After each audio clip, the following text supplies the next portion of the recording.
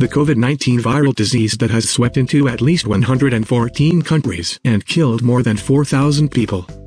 How COVID-19 kills people? After infected by COVID-19, immune cells actively produce cytokines or even induce cytokine storm. A cytokine storm is an overexpression of cytokines, which can assist the immune system fighting pathogens. But it has potential to cause significant damage to body tissue and organs, such as lung, heart and kidney. Anogen, as a Canadian biopharmaceutical company found in 1989, we have a wide range of ELISA kits products that can be used to monitor the overexpression of cytokine and custom antibody products to fully support the development of antigen therapy of cytokine storm.